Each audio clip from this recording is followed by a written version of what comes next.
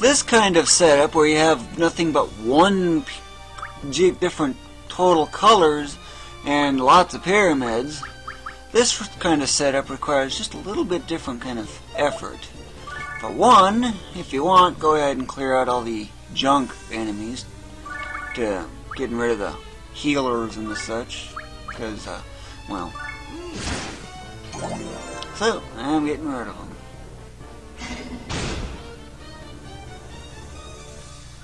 A certain something just not to hit.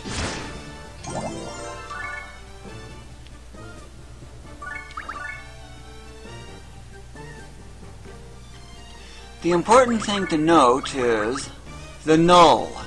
Keep this as far as you absolutely can from all other pyramids. But what if you can't get a pyramid over because of islands or too much distance and such? Like, hmm, five. Okay, so that is doable there. Better check that before I bother shuffling pyramids. Okay, basically go here, so I can throw it. Otherwise I'd have to drag my thief out if it was six. I've had my thief throw seven panels before. However, it's very chance-based, and it only happens when you throw diagonally. So, the null is far away, right? Okay, that's what I need. And there were all those pyramids. But what if the null is otherwise inaccessible, or there's like a no lifting effect, or another such troublesome pyramids? Well, in that case, what I usually do is I focus on getting the one nearest to the red, or whatever the matching color is, and it's almost always going to be red. I get the one nearest to it, because remember how it spirals out? It'll probably go here, here, here, here. Of course, there's nothing here. Then I'll go here, and then I'll bump, go over here, and so forth, outward in a spiral. But if you can't get it all, well, in that case, obviously, do not bust matching color pyramids, because, well, nothing's going to happen. So, eh, I guess I'll just drag you out so I can do my favorite special skill. And this is what I do in case I otherwise can't.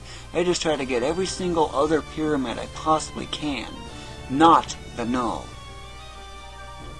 This is the level 2 type setup. It's just a little bit more difficult than level 1 if you're really focused on maxing out the bonus. But really here there's nothing special, but it's a nice setup for explaining level 2.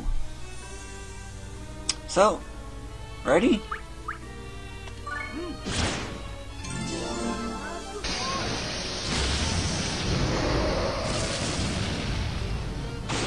Quite a bit weaker, huh?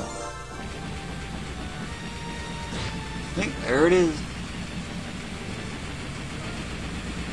Now it's gonna get the null. Besides, busting, just so you know, busting those other pyramids, even if they're not really necessary, will actually give you some extra experience if you really need it. But keep in mind, a level 9999 pyramid's only worth like 5.6 million, with all the statisticians, of course. They're not worth much. Nor really near enough. After all, level 9999 Argus is already something like uh, almost 68 million. It's actually 67 and change. Compare that to the 5.6 million pyramid dozen. Yeah, you probably get the idea. Still, they do add up.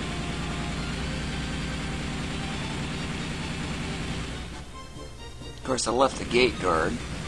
Why did I leave the gate guard? The gate guard never moves. That makes it so much easier to shuffling pyramids around.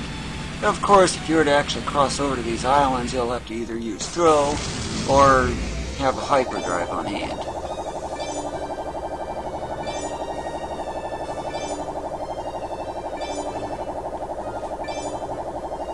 Yep, if only there was a way to speed up the rate the bonus gauge fills up.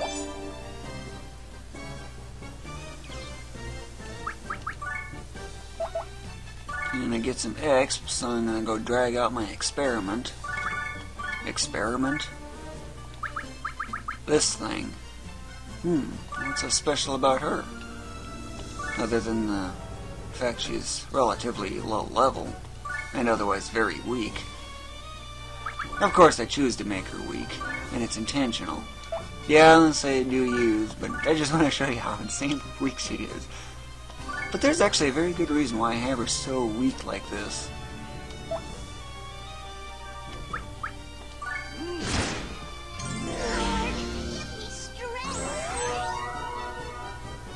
Put a K at the end of that and double that, and yeah, that's what my wizard does. Without all of her teachers. With her teachers, add an extra digit and then the K.